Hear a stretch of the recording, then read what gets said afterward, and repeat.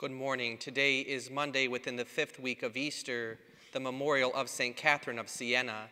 Let us begin our prayer in the name of the Father, and of the Son, and of the Holy Spirit. Amen. The Lord be with you. And with your spirit. Brothers and sisters, let us acknowledge our sins and so prepare ourselves to celebrate the sacred mysteries. You were sent to heal the contrite of heart. Lord, have mercy. Lord, have mercy. You came to call sinners. Christ, have mercy. Christ, have mercy. You are seated at the right hand of the Father to intercede for us. Lord, have mercy. Lord, have mercy. May Almighty God have mercy on us, forgive us our sins, and bring us to everlasting life. Amen. Let us pray. O God, who set St. Catherine of Siena on fire with divine love, in her contemplation of the Lord's passion and her service to your church.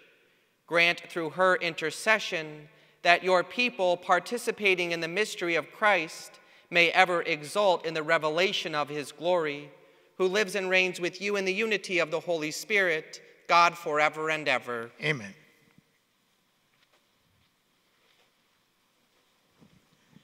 A reading from the Acts of the Apostles. There was an attempt in Iconium by both the Gentiles and the Jews, together with their leaders, to attack stone and stone Paul and Barnabas. They realized it and fled to the Lycaonian city of Lystra and Derbe and to the surrounding countryside, where they continued to proclaim the good news. At Lystra, there was a crippled man, lame from birth, who had never walked. He listened to Paul speaking, who looked intently at him saw that he had the faith to be healed, and called out in a loud voice, Stand up, straight, on your feet. He jumped up and began to walk about. When the crowd saw what Paul had done, they cried out in Lycaonian, The gods have come down to us in human form. They called Barnabas Zeus and Paul Hermes because he was the chief speaker. And the priest of Zeus, whose temple was at the entrance to the city, brought oxen and garlands to the gate, for he, together with the people, intended to offer sacrifice. The apostles, Barnabas and Paul, tore their garments when they heard this and rushed out into the crowd, shouting, Men, why are you doing this? We are of the same nature as you, human beings. We proclaim to you good news that you should turn from these idols to the living God, who made heaven and earth and sea and all that is in them. In past generations, he allowed all Gentiles to go on their own ways. Yet in bestowing his goodness, he did not leave himself without witness, for he gave you rains from heaven and fruitful seasons, and filled you with nourishment and gladness for your hearts. Even with these words, they scarcely restrained the crowds from offering sacrifice to them. The word of the Lord. Thanks be to God. The responsorial psalm. Not to us, O Lord, but to your name give the glory. Not to, not us, to us, O Lord, but to your name give, give the glory. Not to us, O Lord, not to us, but to your name give the glory. Because of your mercy, because of your truth. Why should the pagans say, Where is their God? Not to, Not us, O Lord, Lord but, to you, name, give, name glory. give glory. Our God is in heaven. Whatever he wills, he does. Their idols are silver and gold, the handiwork of men. Not to Not us, to O Lord, Lord, but, but to your name give, give glory. the glory. May you be blessed by the Lord who, who made heaven and earth. Heaven is the heaven of the Lord, but the earth he has given to the children of men. Not to, Not us, to us, O Lord, Lord but, but to your name give, give glory. glory.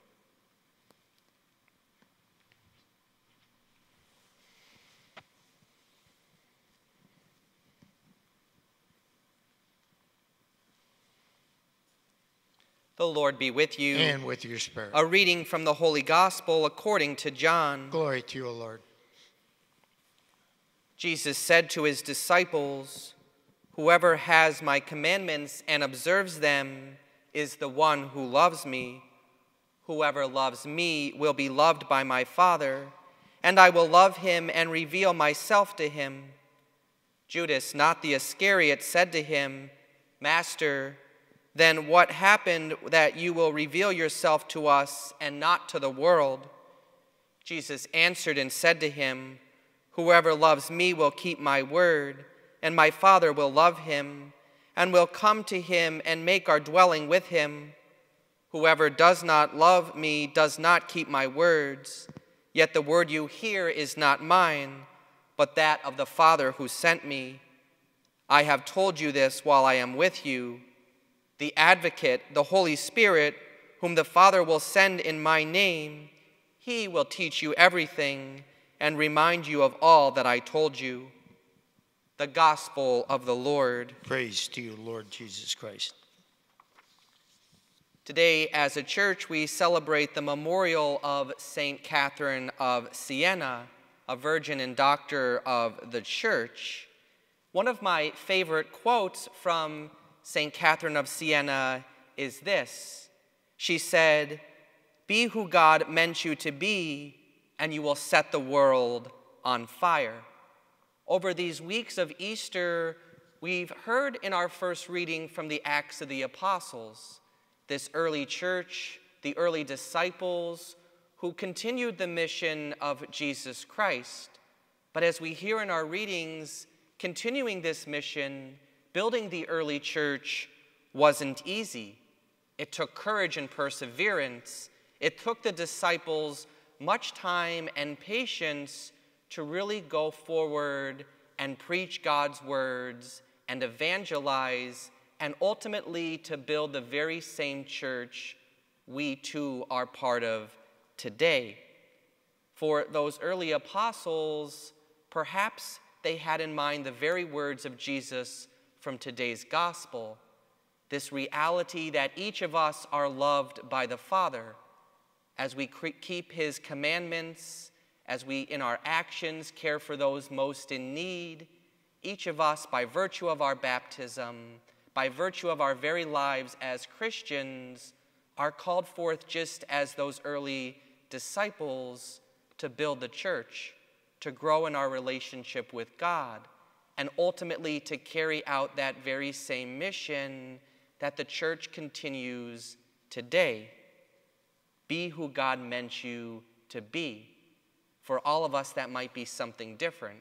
God calls us each in, a, in our own unique way. But as we find out what God wants of us, who God wants us to be, today we're reminded by St. Catherine that we too, like the early apostles and disciples, have that call to set the world on fire, set the world on fire with our faith, with our actions, through our relationship with God. We not only build the church through worship and through the sacraments, but in everything we do in our community to help those most in need. That's exactly how the disciples led the early church. That's exactly as we are Christians today. That's how we build the church as well through celebrating Mass, through receiving the sacraments, and ultimately by nourishing and going forth into the community to serve others.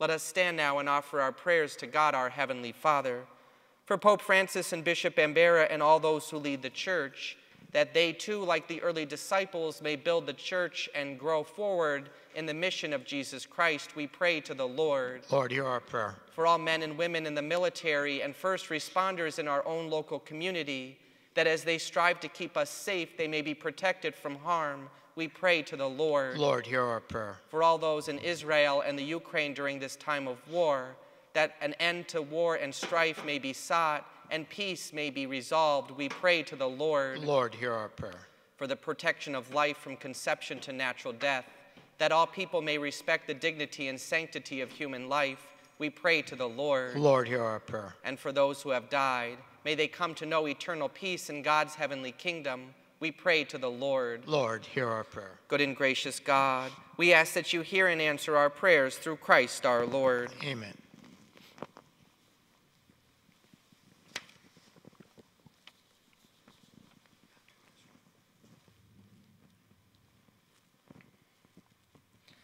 Blessed are you, Lord God of all creation, for through your goodness we have received the bread we offer you fruit of the earth and work of human hands, it will become for us the bread of life. Blessed be God forever.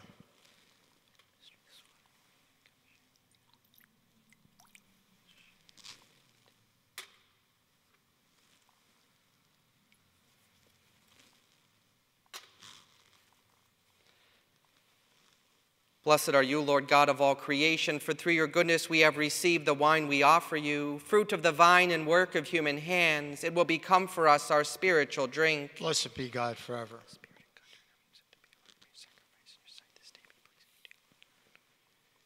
Pray, brothers and sisters, that my sacrifice and yours may be made acceptable to God the Almighty Father. May the Lord accept the sacrifice at our hands for the praise and glory of his name, for our good and the good of God's holy church. Accept, O Lord, the saving sacrifice we offer in commemoration of St. Catherine, so that, instructed by her teaching, we may give ever more fervent thanks to you, the one true God, through Christ our Lord. Amen. The Lord be with you. And with your spirit. Lift up your hearts. We lift them up to the Lord. Let us give thanks to the Lord our God. It is right and just. It is truly right and just, our duty and our salvation, always and everywhere to give you thanks, Lord, Holy Father, Almighty and eternal God. For in the saints who consecrated themselves to Christ for the sake of the kingdom of heaven, it is right to celebrate the wonders of your providence by which you call human nature back to its original holiness and bring it to experience on this earth the gifts you promise in the new world to come. And so, with all the angels and saints, we praise you as without end we acclaim Holy, holy, holy, Lord, Lord, God, God of hosts. Heaven and earth are full of your glory. Hosanna in the highest. Blessed is he who comes in the name of the Lord. Hosanna in the highest. You are indeed holy, O Lord, the font of all holiness. Make holy, therefore, these gifts, we pray, by sending down your Spirit upon them like the dewfall, so that they may become for us the body and blood of our Lord Jesus Christ. At the time he was betrayed and entered willingly into his passion, he took bread and giving thanks, broke it and gave it to his disciples, saying, Take this, all of you, and eat of it, for this is my body, which will be given up for you.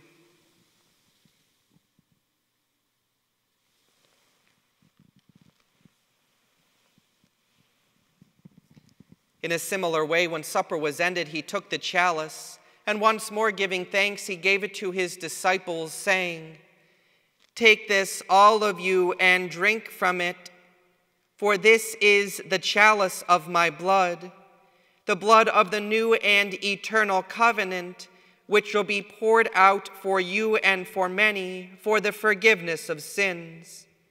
Do this in memory of me.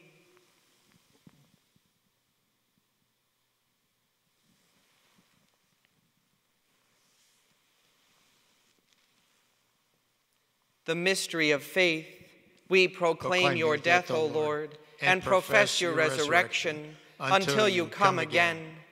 Therefore, as we celebrate the memorial of his death and resurrection, we offer you, Lord, the bread of life and the chalice of salvation, giving thanks that you have held us worthy to be in your presence and minister to you. Humbly we pray that partaking of the body and blood of Christ, we may be gathered into one by the Holy Spirit.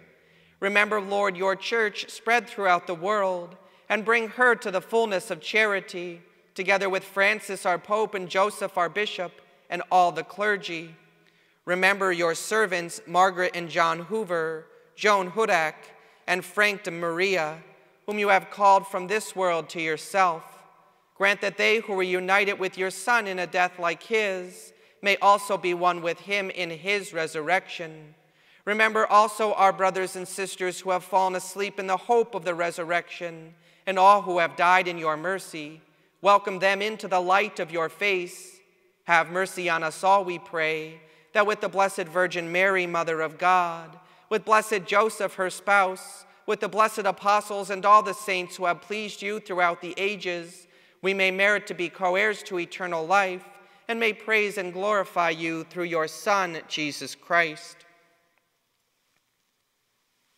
Through him and with him and in him. O God Almighty Father, in the unity of the Holy Spirit, all glory and honor is yours forever and ever. Amen. At the Savior's command, informed by divine teaching, we dare to say, Our, Our Father, who art in heaven, heaven hallowed be thy name. Thy kingdom come, thy will be done, on earth as it is in heaven. Give us this day our daily bread, and forgive us our trespasses, as we forgive those who trespass against us. And lead us not into temptation, but deliver us from evil. Deliver us, Lord, we pray, from every evil. Graciously grant peace in our days, that by the help of your mercy we may be always free from sin and safe from all distress, as we await the blessed hope and the coming of our Savior, Jesus Christ. For the kingdom, the power, and the glory are yours now and forever. Lord Jesus Christ, who said to your apostles, Peace I leave you, my peace I give you, look not on our sins, but on the faith of your church, and graciously grant her peace and unity in accordance with your will, who live and reign forever and ever. Amen. The peace of the Lord be with you always. And with your spirit. Let us offer each other the sign of peace. Lamb of God, You take away the sin of the world, have mercy on us. Lamb of God, you take away the sin of the world, have mercy on us. Lamb of God, you take away the sin of the world, grant us peace.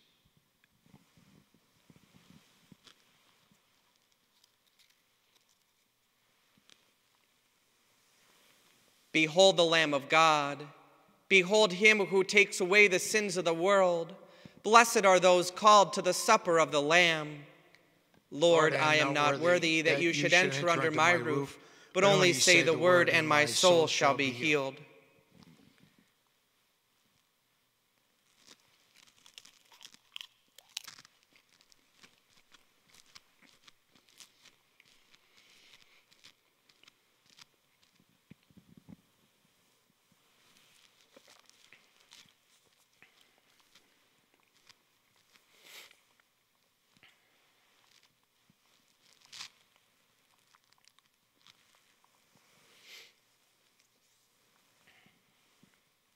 Let us pray.